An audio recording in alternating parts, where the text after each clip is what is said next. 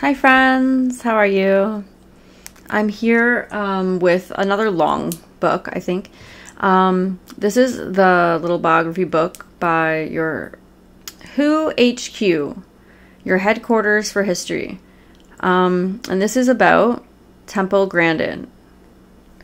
And it says, a, who is she? A girl who understood animals better than people, a scientist who has changed America's livestock industry, a world famous champion for others with autism.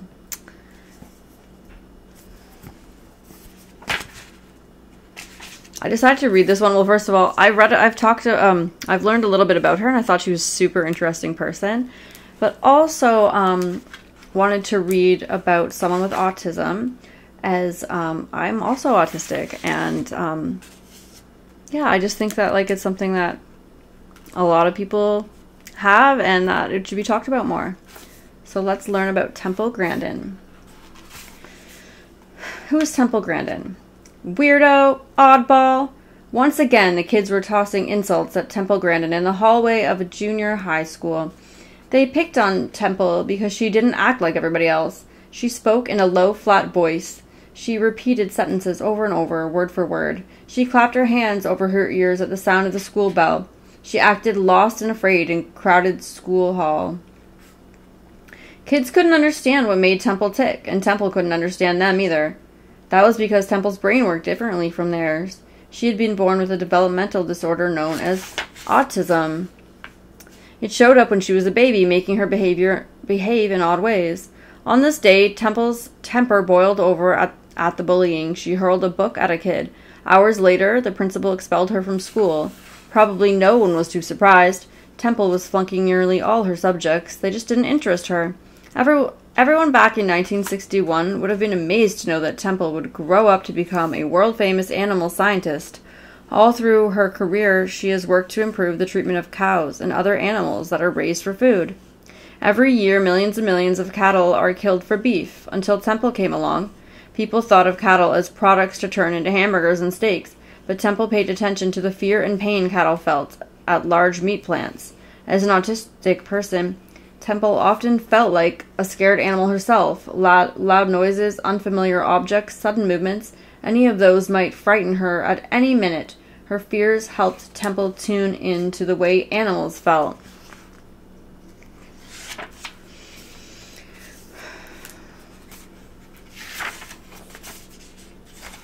Little by little, she changed the meat industry. Thanks to Temple, temple, people began to realize that cattle are creatures with feelings that deserve a good life to the end. Does autism make Temple more aware of animals' feelings? Temple thinks so. It makes her accept herself just the way she is. She has said many times, if I could snap my fingers and be non autistic, I would not. Autism is part of who I am.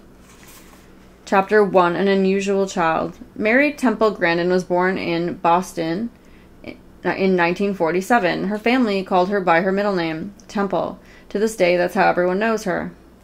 Her parents, Eustacia and Richard, were educated and well to do. Nothing unusual set the Grandins apart from other couples, but their firstborn child wasn't at all like other children.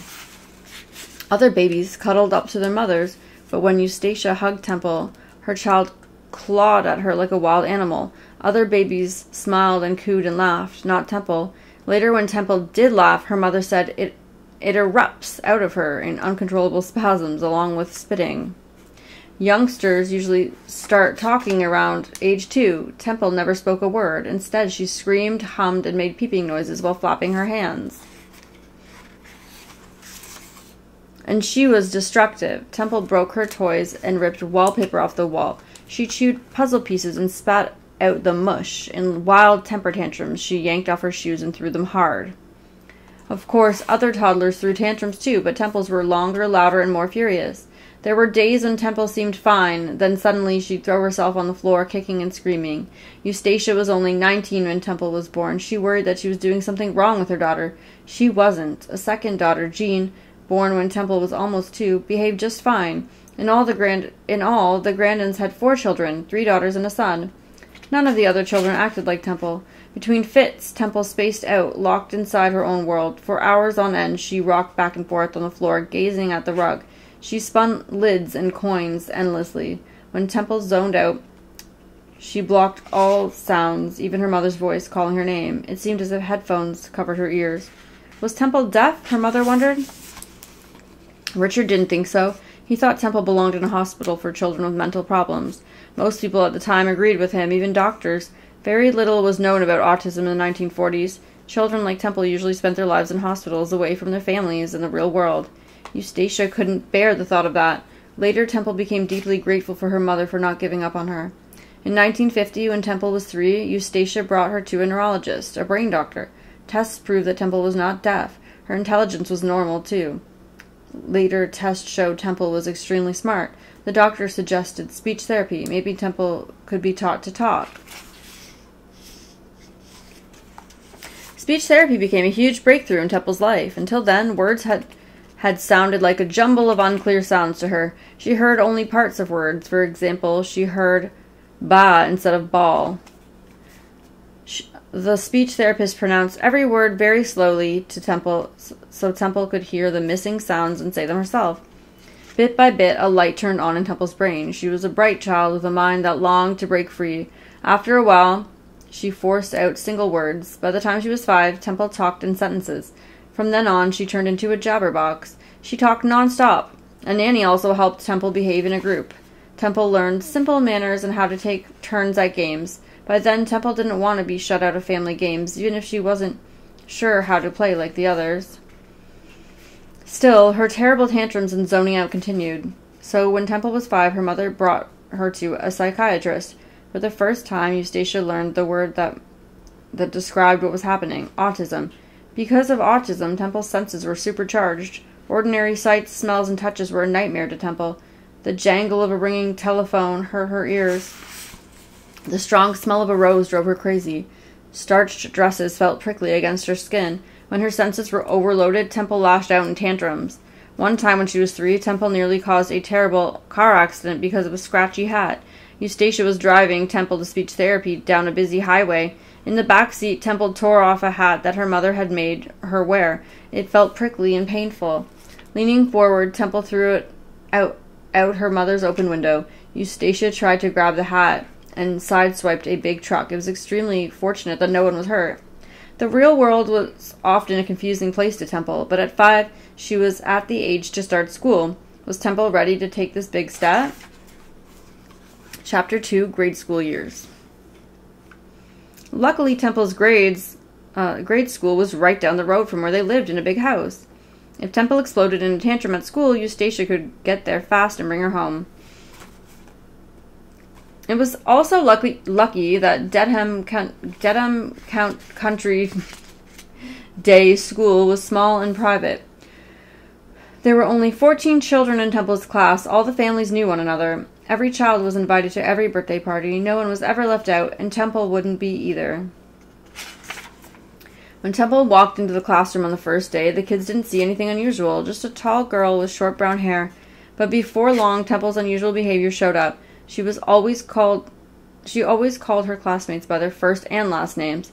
Her voice was loud and flat, and her speech was slurred. Temple repeated the same questions over and over again just to hear the same answers, and sometimes she completely lost it. During one meltdown, Temple threw herself on the floor, kicking and screaming. When the teacher came over to calm her, Temple bit her on the leg. Her classmates looked on with shock. No one could see inside Temple's brain to understand what made her explode. Children with autism need a steady routine. Maybe there had been too many changes in the schedule for that Temple that day. Maybe the smell of the teacher's perfume was too strong for her to bear. Maybe the school bell rang one too many times. Temple has said that the clanging school bell felt like a dentist's drill hitting a nerve. Temple didn't know that she was different from other children. She thought the school bell hurt them too. I thought other people could could withstand the noise because they were stronger than me, she later recalled. Sure, Temple acted differently, but like every child, she wanted badly to fit in.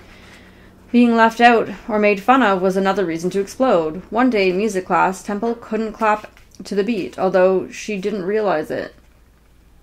Why are you acting this way? the teacher asked her. You're spoiling it for everyone. Temple was hurt. She had been trying with all her might. Furious, she jumped up, knocking over her chair. Temple flinched like a scared animal at the slightest touch. Even the teacher's tap on the shoulder secretly the sorry, even the teacher's tap on her shoulder. Secretly, though, Temple longed to be hugged. To comfort herself at home, Temple wrapped herself tightly in a blanket or wiggled under couch cushions. In class, she daydreamed about a magic box that could wrap her tightly in a hug. Who could imagine that one day Temple would invent her own magic hugging box? For all her problems, Temple had amazing talents too. In art class, she drew beautiful lifelike drawings of horses, and she could invent and build things herself. Her skilled hands made sailboats, tree houses, and kites shaped like animals that she flew with her sisters and brother. She sewed costumes for school plays on a little sewing machine her mother gave her. At home in her room, Temple rigged up webs of strings that dropped over invaders that meant anyone who came in without being asked. Curious neighborhood children trooped along with Temple on her after school projects. One of her young pals said she liked being with Temple because she was she wasn't ever boring. Sometimes Temple's active mind thought up mischief. It was fun for her, but dangerous for others. One day she and a friend threw bottles out of the hayloft at an old bar- out of an old barn. The teacher lived next door, and the bottles shattered all over the teacher's yard. The next day, Temple blamed the mess on two boys who sometimes made fun of her. Today, Temple knows that's wrong, but at the time she thought it served the bullies right. For the most part, grade school was a happy time for Temple. But at the end of sixth grade, it was time for Temple to start junior high. It would turn her world upside down. Chapter 3 Teasing and Torment. The Cherry Hill Girls' School, the, um, the junior high that Temple attended in 1960, was so different from the quiet pace of the gr- uh, grade school. There were 30 to 40 girls in the seventh grade and hundreds in the school. Class sizes were large. All day long, students moved from one classroom to another with a different teacher for each subject. The jammed hallways buzzed with noise and motion.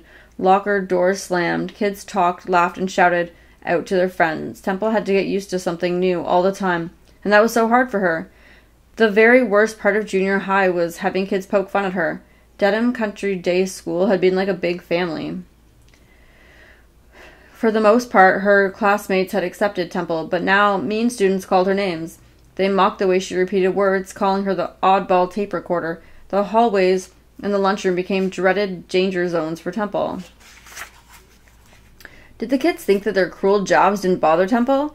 If so, they were very wrong. Everything about Temple was intense, including her deep emotions. To this day, Temple recalls the total torture of being bullied. I just wanted the kids to stop teasing me, she recalled in a film about a film about her life. That's all I could think about. That and that's miserable, let me tell you. Temple's grade uh, grade school classmates had enjoyed her creative projects, but the girls but the girls, older now, were interested in fashion, popular music, and especially boys. Temple could not care less about these things. She didn't understand the girls any more than they understood her. Her autism prevented her from reading their faces. When the girls rolled their eyes, Temple didn't realize they were bored or put off. In fact, she was fifty before she learned the meaning of an eye roll. Jokes and sarcastic remarks also went over her head. Temple didn't understand that sometimes words spoken in a certain way meant the opposite of what they normally did, like saying, yeah, right, when you mean no way. She always said exactly what she meant and just assumed the others did too. In class, Temple spent her time dreaming up clever pranks to get back at classmates. Once she rigged the cords of the window blinds to, to um, to a student's desk. When the student opened the desk, crash, the blind slammed down. Temple chuckled to herself. The kids may have thought she was weird, but she was showing them that she wasn't stupid. One day, Temple just couldn't take it anymore, any more of the insults. In the hallway between classes, a girl called her a mean name. Furious, Temple hurled a book at the girl's face, hitting her in the eye. Without a glance, Temple stalked off. That night, the phone rang while the Grandins relaxed in the living room. Temple went to answer it. The caller was the school principal. He said she wasn't allowed back at school. She was expelled. Pale and upset, Temple returned to the family and told her parents what had happened. Richard Grandin became furious at Temple. Eustacia quietly took another approach. She began getting information on other schools, hoping she could find somewhere where Temple could fit in and be happy. Chapter 4 School Away from Home. 14 year old Temple and her mother drove up a dirt road high into the forested mountains of New Hampshire. Finally, they reached the sign next to a gravel driveway Hampshire County School. Student population 32 elevation 1,000 feet. That's cool. Here was the small boarding school where Temple would spend her high school years. At boarding school, students live on the campus during the school year. Hampshire County School had been founded for kids like Temple. All were bright, talented kids who had trouble fitting in elsewhere. Not all of them had autism. Great importance was placed on the students getting along together and, and taking responsibility for their actions. Besides the classroom buildings, there was a working farm on campus that the students helped run. Horses, sheep, and cows grazed in the fields. Barns and sheds dotted the property. The school was located on a 1700 acres of wooded mountain land, filled with pond or filled with ponds, streams, and old stone walls. Eustacia Grandin helped Temple move into the top floor of a dorm that once had been a big old farmhouse. Then it was time for her to say goodbye. Away from home for the first time, Temple longed for a hug, but her autism kept her rigid as a board. She still couldn't let her mother touch her. That night at dinner, Temple got off to a rocky start. A girl cut into the food line in front of her. Temple hit her. Miss Downey, a teacher who had witnessed the scene, quietly led Temple to a table away to a table. She first let Temple know that she understood her reason for being upset. Then she firmly added that no matter what, hitting was never allowed. Miss Downey's fairness made Temple feel better, but kind words alone were not going to stop Temple from using her fists to settle problems. What helped her do that were horses. Temple immediately took to the nine horses that lived in the school's stable. She spent every spare minute in the stables, pitching hay, grooming the horses, and cleaning the stalls. Temple's classes didn't interest her the way horses did. She could calm them while a blacksmith fitted their hooves with metal shoes, and she became a superb rider.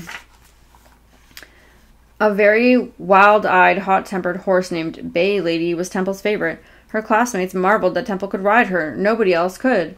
Horses were excitable animals who may balk easily at anything out of place.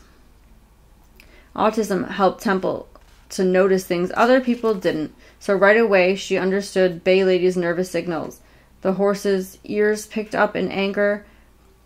When afraid, Bay Lady swished her tail faster and faster. Temple adjusted her riding so Lady was never scared or nervous. Temple understood that what Bay Lady was feeling so much more easily than she could fig- than she could figure out people. The horses became Temple's new passion, but after six months at Hampshire County Country School, her outbursts of temper hadn't stopped. One afternoon, Temple smacked a classmate who laughed at her when she tripped on a croquet wicket. The ever patient Miss Downey had reached her limit. This time, she didn't let Temple go riding for a week. Seven days without her beloved horses. It seemed like forever to Temple. She never wanted to be punished like this again, so she made up her mind to stop hitting, and she did, for good. Emotions still boiled up inside Temple. Instead of lashing out, Temple now released them by crying. She ran to some place private and sobbed until she calmed down. During high school, Temple got better and better at inventing and building things. Temple thought in pictures, not words. In her mind, she could see each part of something that she was building. Then she put the parts together and turned the invention all the way around in her mind. Today, Temple compares it to running a movie in her head. Mr. Davis, the ski teacher, designed a rope tow up a nearby ski slope. Now, classmates didn't have to lug all their gear and skis up the 70 foot climb. Ever handy with tools, Temple also put tongue and groove wood siding on the ski tow uh, house, put shingles on the horse barn roof, and helped carpenters remodel a house.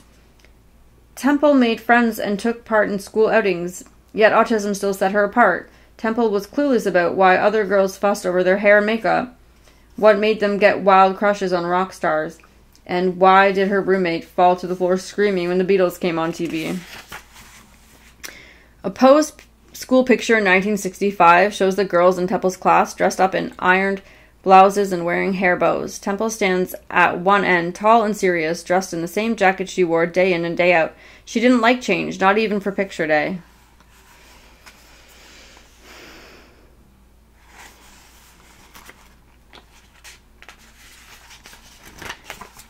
Chapter 5 The Squeeze Machine. During high school at Hampshire County, or country, Temple's new self control faced a threat. She was growing into a young woman. Changes in her body upset her entire nervous system. She began to have frequent panic attacks. The panic attacks made Temple's heart race and pound. Her palms got sweaty. Her hands and legs trembled. It felt like a huge lump was in her throat that made it hard to swallow or breathe.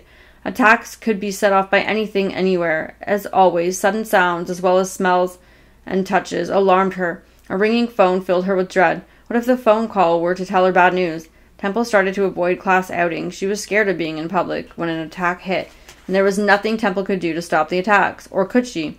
At 15, Temple was about to discover a surprising solution. She spent summer vacation at the ranch owned by her aunt Anne in Arizona. Her usual fear of being in a new place vanished right away.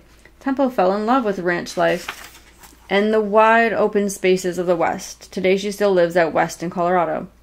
Every day was filled with hard chores, and Temple pitched right in. In no time flat, she was a terrific ranch hand, mending fences and, and rebuilding a roof. Temple's amazing skills as an inventor also made life easier for Aunt Anne. Temple had noticed her aunt had to go to, to get out of the truck to open the big ranch gate. Then, after driving through, Aunt Anne had to walk back and push the gate closed again. So Temple figured out a new system. It let her aunt open the gate from the driver's seat by pulling a rope. The gate would automatically close after the car passed through. That summer, Temple grew fond of the cattle. She never, she'd never really been around them before. In pastures, the huge beasts were peaceful, curious animals. One sunny afternoon, Temple stood with Aunt Anne watching the vet give shots to the cattle. A machine called a cattle chute held the steer in place so it wouldn't lash out and get hurt or hurt any of the people nearby. A hole in front of the wooden chute held the cow's head in place. The sides of the chute pressed inward against the cow's body. Temple saw that the cattle were nervous until the sides of the chute were closed around them, their bellies around their bellies. Right away the cattle calmed down. Temple wanted to try it herself. When the vet and cowboys had herded the cattle away, Temple asked her aunt to close her inside the chute. It was a strange request, but Aunt Anne kept an open mind. Temple placed her head inside the opening. Aunt Anne pulled the ropes that closed the sides. Peace swept over Temple. She relaxed in the chute for a half hour. Um, Afterwards, she felt calm for a long time. Temple had stumbled upon a way to soothe herself. It was the answer to her anxiety attacks. Temple began relaxing inside the cattle chute every day. It felt like getting the hugs she'd always ached for, only now she could get hugged on her own terms without feeling overwhelmed. As vacation came to an end, Temple couldn't bear the thought of leaving the relaxing cattle chute behind. Of course, Temple couldn't lug it all the way to New Hampshire. So back to school, she hammered together her own model out of plywood. Temple called it the squeeze machine. It fit in her room, her dorm room. Every day she asked her roommate to close her inside so her nerves could unwind. Later, Temple added an air compressor to the machine so she could close and open the sides herself. A cattle chute in the dorm was too weird for some of the staff. The school counselor mocked Temple's strange new contraption, but the science teacher, William Carlock, came to Temple's aid. He suggested that she use science to test out her machine. By doing research, maybe she could show that the cattle chute made people relax too. Temple tackled the project with gusto. She asked classmates to try out the squeeze machine. Like a research scientist, Temple stood by with a clipboard and recorded their reactions. Some kids didn't like the squeeze machine, but many reported it was relaxing. Temple got to keep her machine. There is now a published scientific paper about the, her research. Scientific quickly be, science quickly became Temple's passion.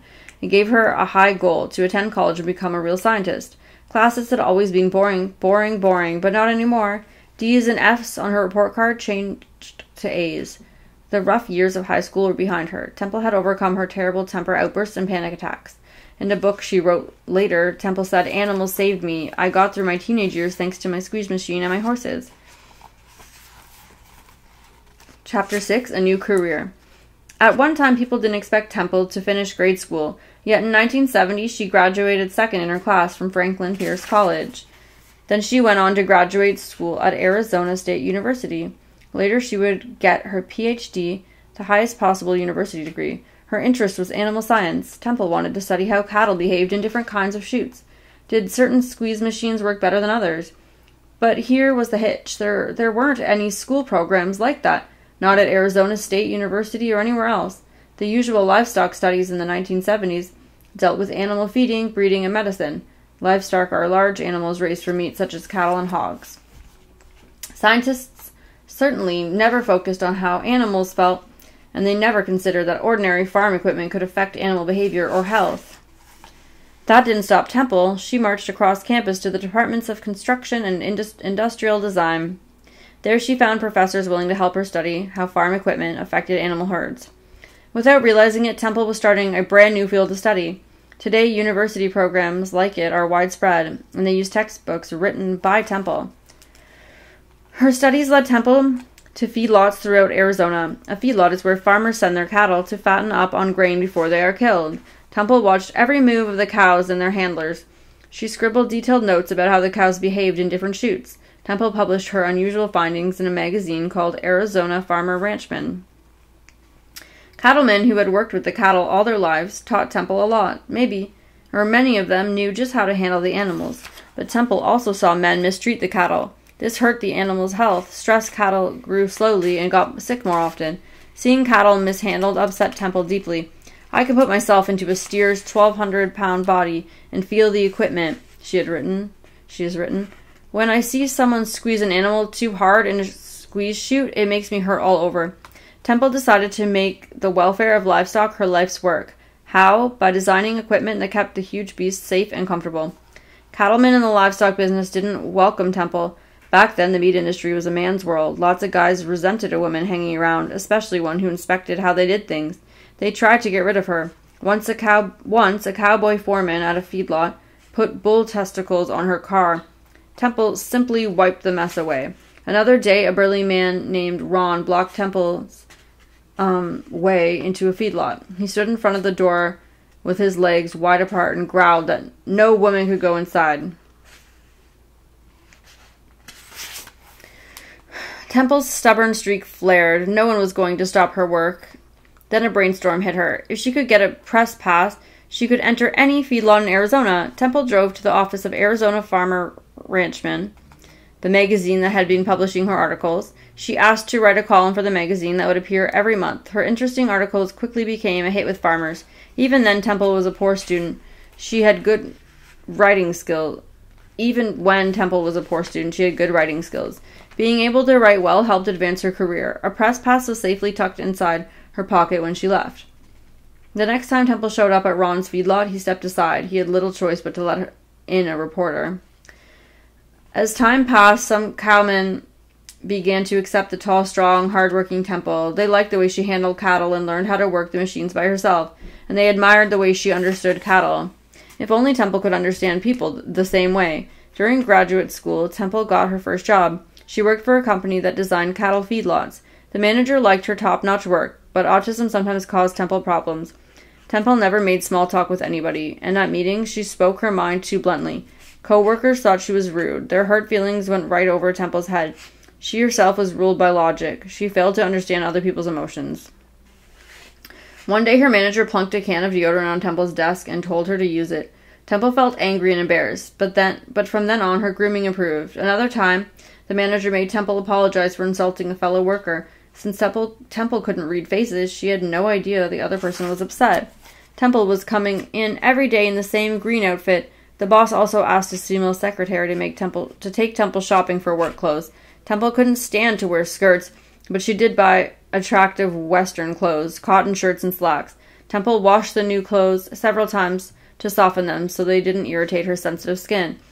These early lessons at work woke up Temple. She knew she had to learn social skills to succeed in business, but she made up her mind to never marry or have children. Those relationships were just too complicated. Chapter 7 A Cow's Point of View by 1975, Temple had her master's degree. She also had her own business designing cattle handling equipment. Now, for the first time, her work was about to leap into the national spotlight. At that time, tiny bugs called mites were infesting cattle herds, herds all over Arizona. An infestation called scabies. Ew. The bugs ate their way under the skin of cattle and made them itch. Cattle suffering from scabies may rub off their hair because itching is driving them crazy. They may lose weight because they spend hours scratching instead of eating. The only cure at this time was to dunk the cattle in dip vats. Dip vats were big pools of bug poison seven feet deep. The cattle had to submerge in the vats completely, up and over their head. Getting soaked was the only way to kill off every bitty mite. Dip vats terrified cattle. On on the ramps leading into the pools, the cows stopped dead in their tracks, afraid to budge because it looked like jumping off a cliff. No one understood that. The cattlemen forced them ahead. Some cows flipped over and drowned. So sad. Entered Temple. A manager of a feedlot in Arizona had read her magazine articles. He asked Temple to design a dip vat that cattle could enter without getting hurt. Her deadline? Just three weeks. Temple didn't know anything about dip vats before then, but she had been inventing all her life. She was ready for this challenge. First, Temple took a close look at the cattle entering the dip vats. She saw that the ramps were too steep and slippery for the animals' hooves. She also realized their biggest fear was stepping over the pool rim into the into the deep liquid. So Temple designed a dip vat with a concrete ramp that had a gradual downward slope. Cleats were installed on the ramp so the cattle wouldn't slip. She ended cattle's fears of entering the pool by hiding the scary drop off from their view. Cattle simply continued down the ramp until shallow into shallow water. Then the ground gave way beneath their feet and they calmly sank into the pool. In seconds they rose to the top. Cattle can swim. Quickly and easily they paddled to the other side and walked out of the dip vat. That's super interesting. Fear often overcame cattle in meat plants. Temple easily understood why. For two years, the cattle had been quietly raised on farms and ranches. Day after day, they had followed the same routines, and suddenly one day they were trucked to meat plants. They were faced that there they faced frightening new places and people. Temple knew that cattle are highly strung prey animals. A prey animal is one that is hunted by other animals. Instinct makes cows keep a constant lookout for danger, so they can flee at any moment. Temple's autism made her fearful too. New surroundings and sudden changes threw her into a state of panic. It gave her a special window into the mind of cattle. By looking at meat plants from a cow's viewpoint, Temple could spot problems. The plants had always been laid out in grids. Handlers herded cattle down long, straight lanes. Temple realized that straight pathways stressed cattle ahead in the distance, or sorry, stressed cattle. Ahead in the distance, cattle could see strange people and objects, threats. The sight of them made cattle balk and freeze in their tracks. Temple solved the problem by designing sweeping curved lanes. Cattle ambled calmly through them, keeping their eyes on the animals directly in front of them. These winding walkways made cows feel at home. That's because in the pastures, cattle naturally walk in paths that, that circle back home. Temple also ripped out the low sl- slatted fences that lined old herding lanes. Why? Because cattle are herd animals with strong instincts to stay in a group. Low fences let them see other cattle being herded into another direction. Cows bellowed loudly, wanting to join other cattle. Temple built high, solid walls so that cows, cattle only saw the animals directly ahead of them. This kept cattle quiet and calm. Meatpacking plants where, where cattle are killed for food posed special challenges. Federal laws were in place to make sure the animals' deaths were swift and painless. Temple made sure their deaths were also gentle and peaceful. She designed a system to carry cattle calmly through their last moments of life. Temple called it the Stairway to Heaven after a rock song by the band Led Zeppelin. Here's how it worked. Cattle walked in a single file up a curved ramp into a packing house. Near the top, a conveyor belt slipped under the cow's belly and gently carried it forward. The ground below its hoof slipped away. The cow stayed calm and comfortable. Death would come suddenly from a fatal bolt, bolt to the head. The cattle died without fear.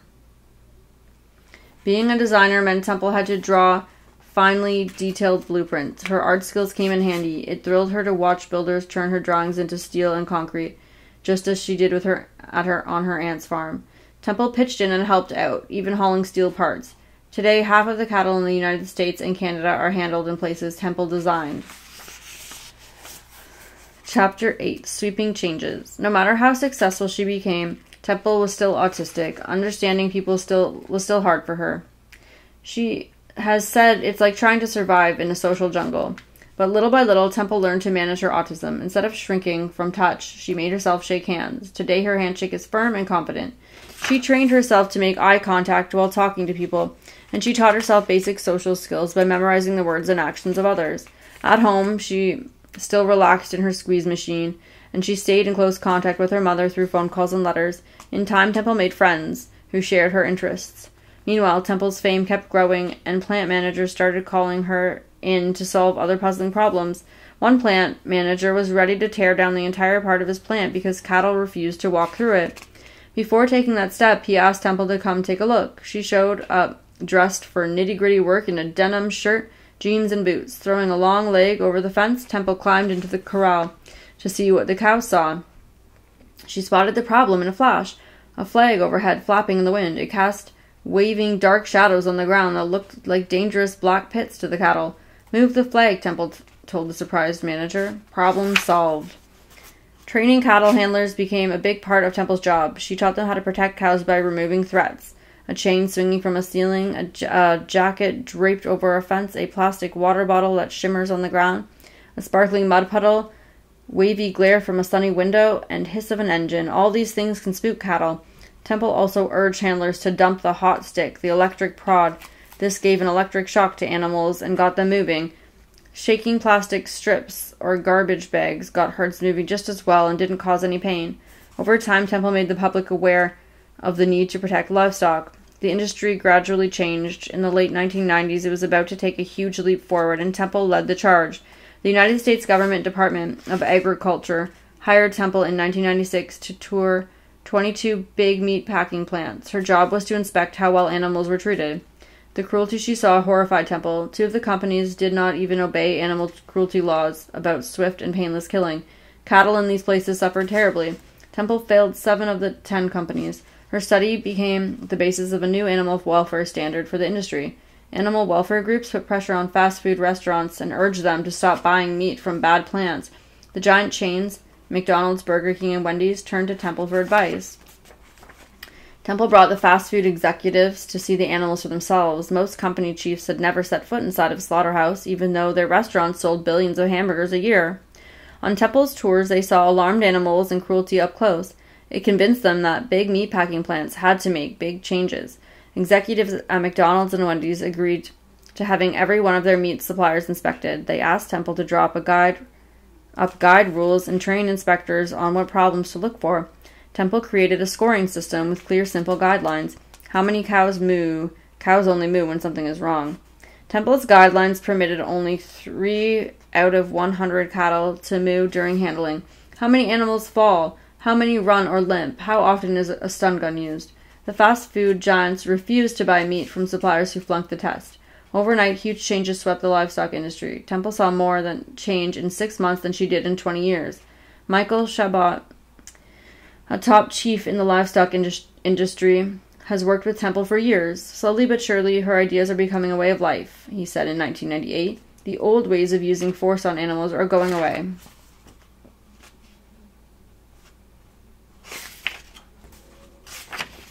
Chapter 9 Temple Today. In 1986, Temple sat down to write the story of her life as an autistic person. She titled it Emergence, labeled autistic. Temple described her childhood, tantrums, teenage anxiety, struggles with bullies, and pain from her highly charged senses. She described how she shrank from being touched and locked herself in an inner world. Hope rang through the book because Temple described coping with her autism to build an exciting career. William Carlock, her high school science teacher and mentor, wrote the book's pre- uh, pre- preface. Preface. Um, I watched Temple work with her autism, sometimes in the midst of extreme discouragement, and saw her come to terms with it. He wrote, "I know I've I, have i have seen the human spirit at its best." Ten years later, Temple published a second memoir, Thinking in Pictures. In 2006, a documentary about her life was made by the British Broadcasting Company, the BBC. Its title was The Woman Who Thinks Like a Cow. And in 2010, HBO put out a movie called Temple Grandin, starring Claire Danes. The book and films thrust Temple into the spotlight as a spokesperson for autistic people. The girl who couldn't speak now gives lectures lectures to thousands. One speech Temple gave in 2010 sums up her message. The world needs all kinds of minds. After hearing Temple's message, one boy with autism told Temple, "Thank you for showing my brain thank you for showing my brain isn't broken. It's just different. Temple gives her speech titled The World Needs All Kinds of Minds. Okay. Temple urges autistic children to focus on their talents and interests, not on what they lack. She tells them that making friends is a lot easier when they join school clubs that center on activities they love and can share with others. Today, Temple's life is a whirlwind of work and, and worldwide travel. She divides her time among three things working for food animals, speaking out for autistic people, and teaching animal behavior at Colorado State University, where she is a professor. Temple has also published hundreds of scientific papers and many books. Honors and praise come Temple's way from many quarters. The New York Times, The New Yorker, National Public Radio, and 20/20 have featured articles and programs about her. And in 2010, Time magazine honored her among the 100 most influential people in the world.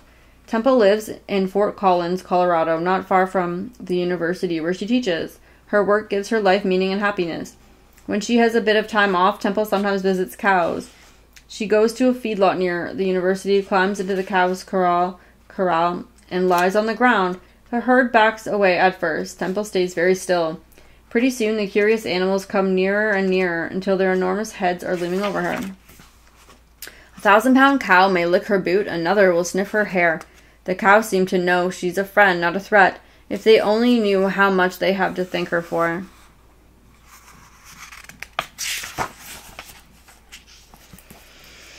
Okay, that was that was good. Thank you guys for listening. I hope you liked learning about Temple Grandin and all the um, inventions and and uh, that she's created. Um, and have a great night. Bye, guys.